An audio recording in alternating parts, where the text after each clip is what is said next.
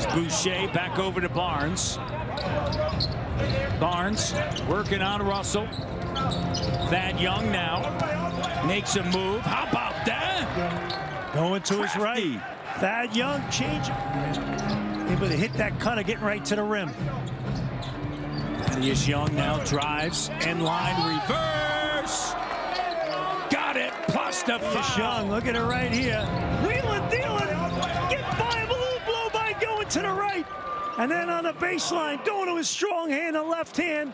Reverse and the finish on the window. Three-point play.